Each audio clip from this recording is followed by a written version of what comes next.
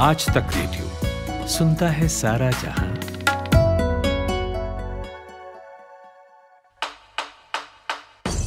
नायक और खलनायक, विद्वान और महारथी, कला के ऐसे सितारे जो अब भी आसमान में चमकते हैं और ऐसी हस्तियाँ जो इतिहास में अमर है।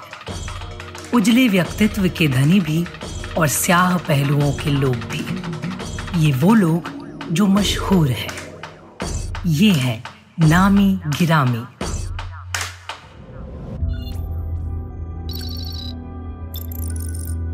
कंप्यूटर और इंटरनेट का इस्तेमाल करते हैं तो एंटीवायरस से परिचित ज़रूर होंगे।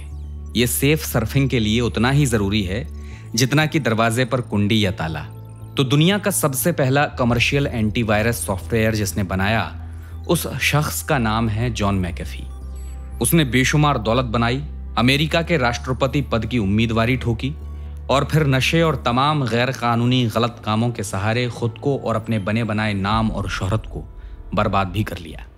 आज नामी ग्रामी में मैं अमन गुप्ता सुनाऊँगा कहानी टेक टाइकून जॉन मैकेफी की।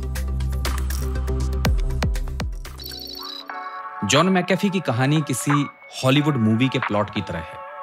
इसमें खूब सारा पैसा, ड्रग्स, बंदूकें, लड़कियाँ कैरबिन सी के पास आलीशान मकान और उसमें अयाशों वाली ज़िंदगी सब शामिल है। इंग्लैंड के स्कॉटलैंड में 18 सितंबर 1945 को जॉन मैकेफी पैदा हुए। छोटे में ही उनके माता पिता उन्हें लेकर अमेरिका के वर्जीनिया शहर में शिफ्ट हो गए। जॉन के पिता पेशे से जल्लाद थे, बहुत ज़्यादा शराब पिया करते थे और एक रोज उनके पिता ने गोली मारकर खुद की जान ले ली। उस वक्त जॉन की उम्र महज पंद्रह साल थी। पढ़ाई लिखाई चलती रही ग्रेजुएशन किया मैथमेटिक्स से।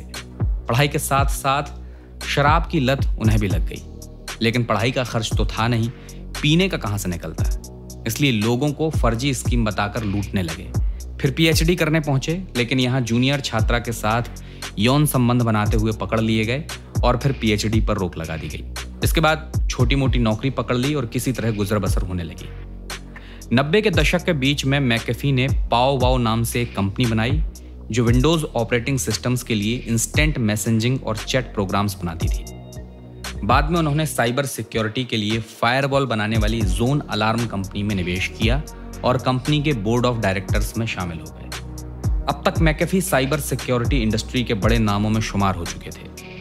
इसके बाद साल आया उन्नीस सौ सतासी, जब उन्होंने कैलिफ़ोर्निया के सांता क्लारा में मैकेफी एसोसिएट्स कंपनी की नींव डाली और बनाया मैकेफी एंटीवायरस ये वो दौर था जब पर्सनल कंप्यूटर्स और इंटरनेट का चलन बढ़ रहा था। ऐसे में इंटरनेट सर्फिंग के दौरान वायरस का खतरा भी बढ़ रहा था। लेकिन नब्बे फ़ीसदी लोग उस वक्त जानते ही नहीं थे कि यह वायरस होता क्या है। फिर एक घटना हुई, जिससे जॉन को एंटीवायरस बनाने का ख्याल आया। इसका नाम उन्होंने अपने ही नाम पर रखा, मैकेफी। क्या थी वो घटना? आप आज तक डॉटर में टेक जर्नलिस्ट और साइबर सिक्योरिटी के एक्सपर्ट मुंजर अहमद से सुनिए। तो पाकिस्तान के लाहौर में बासित फारूक अलवी और अमजद फारूक अलवी नाम के दो भाई थे, दोनों की एक कंप्यूटर स्टोर थी। उन्होंने उसी स्टोर में काम करते करते हार्ट मॉनिटरिंग से जुड़ा एक प्रोग्राम बनाया था। और ये प्रोग्राम जो हार्ट मॉनिटरिंग का था, ये सॉफ्टवेयर मेडिकल इंडस्ट्री के लिए एक बड़ी बात थी। अब लोगों ने इसे हाथों हाथ लेना शुरू कर दिया कि ये तो नई चीज़ है। लेकिन प्राइवेसी का इन्होंने ध्यान नहीं रखा था, जो कि ये गलती बहुत लोग करते हैं और यही उनके साथ धोखा हो गया। कुछ लोगों ने उनसे सॉफ्टवेयर खरीदा और फिर सॉफ्टवेयर की पायरेसी होने लगी। इसके बाद जब उन्हें पता चला कि तो उन्होंने कोड करके एक वायरस बनाया जिसे नाम दिया गया ब्रेन अब जो भी सॉफ्टवेयर का पायरेटेड वर्जन अपने कंप्यूटर में डालता था तो साथ में वायरस भी कंप्यूटर में चला जाता था। ताकि लोग पायरेटेड यूज़ ना करें।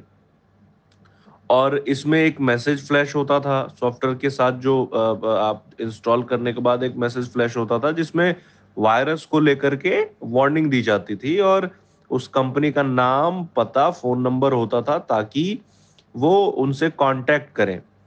ओरिजिनल सॉफ्टवेयर उनसे खरीदें और कंप्यूटर को वायरस फ्री करवाएँ। तो मुद्दा ये था कि अब कोई भी अगर पायरेटेड खरीदेगा तो उसे at the end of the day उन्हें उनके पास ही जाना होगा जहाँ ओरिजिनल सॉफ्टवेयर बनता है।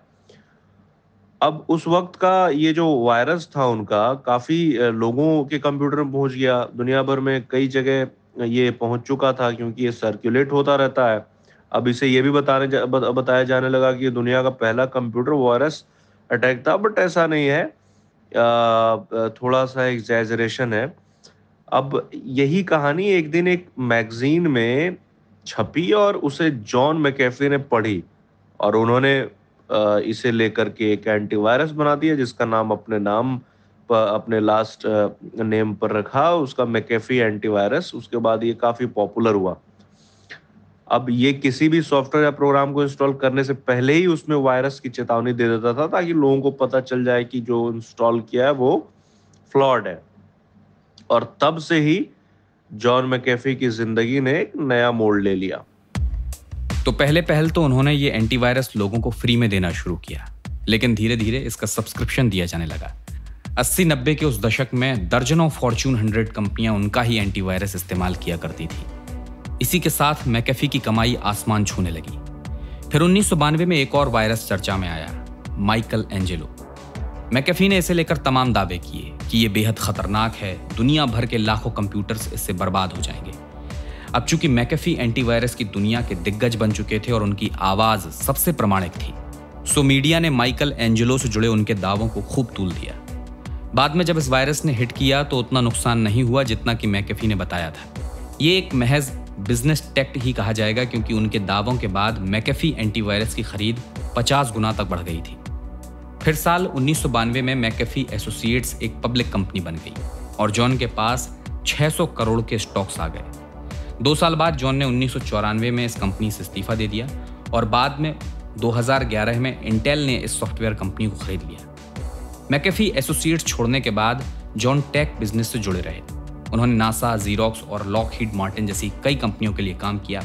कई फायरवॉल और विंडोज़ वगैरह के लिए इंस्टेंट मैसेजेस चैटबोट बनाने वाली कंपनियों में निवेश किया।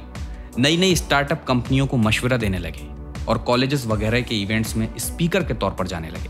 साथ ही साइबर सिक्योरिटी को लेकर जॉन अक्सर सवाल उठाते रहते थे। रसिया टुडे को दिए एक इंटरव्यू में उन्होंने कहा था कि गूगल ने भले ही लोगों के लिए दुनिया खोल कर रख दी हो लेकिन इसने लोगों की प्राइवेसी के साथ खिलवाड़ किया है। तंबाकू कंपनियों ने 40 और 50 और 60 के दशक में रिसर्चर्स को लाखों डॉलर दिए। और सिर्फ़ इसलिए ये पैसा दिया गया ताकि ये सुनिश्चित किया जाए कि लोग ये कहें कि तंबाकू नुकसानदायक नहीं है। और अगर गूगल का उदाहरण लें तो अगर आप गूगल पर भरोसा रखते हैं कि वो आपके लिए नुकसानदायक नहीं है तो आपको मानना होगा कि ये पूरी तरह से आपकी प्राइवेसी और मानवीय मर्यादा को नुकसान नहीं पहुंचाएगा। और मुझे गलत मत समझिए, मैं गूगल को एक पॉइंट पर पसंद भी करता हूँ कि इसने दुनिया के सामने समझ बूझ से परे सूचनाओं का दायरा बढ़ा दिया और हमारी ज़िंदगी को समृद्ध बनाया। लेकिन गूगल कॉरपोरेट मानसिकता से काम कर रहा है और पैसा कमाने के लिए उसने सब कुछ दांव पर लगा दिया है। किसी तरह सब ठीक ही चल रहा था लेकिन फिर 2009 में आई वैश्विक मंदी ने उन्हें करारा झटका दिया। 100 मिलियन डॉलर की उनकी नेटवर्थ 4 मिलियन डॉलर पर आ गई। उन्हें अपनी प्रॉपर्टी और कई बेशकीमती चीज़ें बेचनी पड़ गईं। कई लोगों ने जॉन पर मुकदमा भी ठोक दिया। अब जॉन ने सोचा कि देश छोड़कर भाग जाने में ही भलाई है। उसने अमेरिका की अपनी लगभग सारी जायदाद बेच दी और चला गया बलीज। मध्य अमेरिका में कैरेबियन समुद्र के किनारे एक छोटा सा देश है बलीज। यहाँ उसने अपने ऐशो आराम के लिए एक शानदार घर बनवाया और उसी में लग्जरी लाइफ जीने लगा। यहाँ उसकी कई गर्लफ्रेंड्स रहीं जिसमें कई नाबालिग थी। खुद ये बात जॉन ने कबूल की थी। इस बीच उसकी मुलाकात जेनिस डायसन से हुई, जो एक कॉल गर्ल थी। और उसी के साथ जॉन ने शादी कर ली। उस वक्त जॉन अड़सठ के थे और डेनिस की उम्र थी चौंतीस। जॉन की तीसरी शादी थी। इससे पहले उसने एक शादी कॉलेज स्टूडेंट से उस वक्त की थी जब वो पीएचडी कर रहे थे। लेकिन उस महिला ने साल 1980 में मैकेफी को उनकी नशे की बुरी आदतों की वजह से छोड़ दिया था। फिर साल 2000 में उन्होंने जूडी नाम की एक महिला से शादी की, लेकिन वो भी रिश्ता नहीं चल पाया और तलाक हो गया। खैर, यहीं बलीज में साल 2012 में उसने कोरम एक्स नाम की एक कंपनी बनाई। बताया गया कि यह कंपनी हर्बल बेस्ड एंटीबायोटिक्स बनाती है। लेकिन इसी साल पुलिस की रेड इस कंपनी पर पड़ गई, क्योंकि पता चला था कि हर्बल बेस्ड एंटीबायोटिक्स की आड़ में जॉन की कंपनी ड्रग्स बना रही है। जाँच हुई तो उनकी रिसर्च पर रोक लगा दी गई, हालाँकि जॉन को गिरफ़्तार नहीं किया गया। फिर जॉन पर यह भी आरोप लगे कि वो अपनी प्राइवेट आर्मी बना रहा है ताकि बड़े स्तर पर ड्रग्स का कारोबार कर सके। जॉन मैकेफी की ज़िंदगी पर एक डॉक्यूमेंट्री भी बनाई गई। नाम है Gringo the dangerous life of John McAfee. इस डॉक्यूमेंट्री में जॉन मैकेफी से जुड़े कई स्याह राज खोले गए हैं। 2016 में यह फ़िल्म टोरंटो फ़िल्म फेस्टिवल में रिलीज़ की गई थी। हालाँकि इसे मैकेफी ने फिक्शन बताया था। 2012 में ही जॉन जब बलीज में थे, उन्हें उनके पड़ोसी ग्रेग फॉल की हत्या के मामले में पुलिस ने गिरफ़्तार कर लिया। कुछ दिन के लिए उन्हें जेल भेज दिया गया। इस मामले में पूछताछ भी हुई। लेकिन पुलिस के हाथ कुछ ऐसा लगा नहीं कि उन्हें लंबे समय तक जेल में रखा जाए। हाँ लेकिन उनके घर की तलाशी के दौरान दो लाइसेंसी पिस्तौल ज़रूर मिली थी। जेल से छूटते ही जॉन को लगा कि अब बलीज में भी रुकना मुनासिब नहीं है। लेकिन गैर कानूनी तरीके से ग्वाटेमाला में घुसने की वजह से उन्हें पकड़ लिया गया और वापस अमेरिका भेज दिया गया। यहाँ 2015 में जॉन मैकेफी ने अपनी पार्टी बनाई साइबर पार्टी और कहा कि वो अमेरिका में राष्ट्रपति चुनाव लड़ेंगे। हालाँकि बाद में वे लिबर्टेरियन पार्टी से जुड़ गए और 2016 में प्रेसिडेंट इलेक्शन के लिए उन्होंने दावेदारी ठोक दी लेकिन उम्मीदवारी न्यू मैक्सिको के पूर्व गवर्नर ने जीत ली बाद में डोनाल्ड ट्रंप राष्ट्रपति बने हालाँकि जॉन जानते थे कि वो जीतेंगे नहीं एक विदेशी मीडिया चैनल न्यूजी से बातचीत में उन्होंने ये बात कही थी I'm not going to be the next president. I know this. You know this. Everybody knows this. America में आकर भी जॉन ने गैर कानूनी काम करने जारी रखे जैसे शराब पीकर गाड़ी चलाना, अवैध हथियार रखना, साथ ही साथ क्रिप्टो करेंसी से जुड़े फ्रॉड्स में भी वो शामिल रहे। जानबूझकर 2014 से 2018 के बीच उन्होंने टैक्स भी नहीं दिया। 2019 में एक मर्डर केस में फ्लोरिडा की कोर्ट ने उन्हें जुर्माना भरने के लिए कहा, लेकिन उन्होंने कोई जवाब नहीं दिया। इसी बीच देश छोड़कर एक बार फिर वो भाग निकला। कई महीनों तक अमेरिकी अथॉरिटीज से भागता रहा, लेकिन एक रोज 3 अक्टूबर 2020 को बार्सिलोना एयरपोर्ट पर उसे धर लिया गया।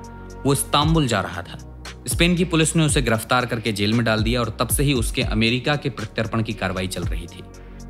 जॉन नहीं चाहता था कि उसे अमेरिका भेजा जाए, लेकिन 23 जून 2021 को उसका प्रत्यर्पण मंजूर कर दिया गया। लेकिन इससे पहले कि उसे अमेरिका भेजा जाता, उसकी मौत की खबर आ गई। फैसले के कुछ ही घंटे बाद उसने अपनी जेल की कोठरी में फांसी के फंदे पर लटक कर आत्महत्या कर ली। लेकिन उसकी मौत कई सवाल छोड़ गई। कि जेल की सुरक्षा के बीच ऐसा हुआ कैसे? जॉन ने 15 अक्टूबर 2020 को ही ट्वीट करके कहा था कि यहाँ जेल में उसके दोस्त हैं, खाना भी अच्छा है। सब अच्छा है, लेकिन अगर मैं अपने आप को फांसी लगा लूँ तो इसमें मेरा दोष नहीं होगा। हालाँकि 10 जून 2021 को उसने जेल में पसरे दुख और यहाँ के व्यवहार को लेकर भी खेद जताया था और 23 जून की रात उसकी पिछहत्तर साल की उम्र में मौत हो गई। नामी ग्रामी की आज की पेशकश में इतना ही। अगली बार किसी और शख्सियत का सफरनामा लेकर हाजिर होंगे। अगर आप कोई सलाह, सुझाव या शिकायत करना चाहते हैं तो रेडियो एट आज तक डॉट कॉम पर हमें आपके ईमेल का इंतज़ार है। नामी गिरामी के एपिसोड आपको तमाम ऑडियो टी प्लेटफॉर्म जैसे Spotify Google podcast Apple podcast Podchaser Gaana इन सभी जगहों पर मिल जाएँगे। जाकर वहाँ सब्सक्राइब कर लीजिए ताकि आपसे कोई अपडेट छूटने ना पाए। मेरा नाम अमन गुप्ता है। इस प्रोग्राम के लिए साउंड मिक्सिंग की अमृत रेगी ने। अब आपसे इजाज़त चाहूँगा। नमस्कार।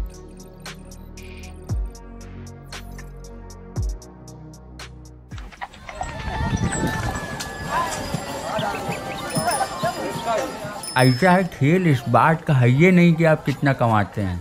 खेल गुरु, इस बात का है कि आप कितना बचाते हो। आप कैसे बचाएँ? ये बैंक और बाज़ार की ये टेढ़ी मेढ़ी बातें गले तो उतरती नहीं हैं। अरे तो महाराज उनसे मिलिए ना, अपने मनी मैनेजर से। आपके बटुए से जुड़ी हर सलाह एकदम मुफ़्त। और शायरी सुनिए, पैसे से जुड़ा है कोई भी शक आश्क बेझक मनी मैनेजर बात बचत की हर शनिवार आज तक रेडियो पर। आन बनाओ कितना ज़्यादा रखना।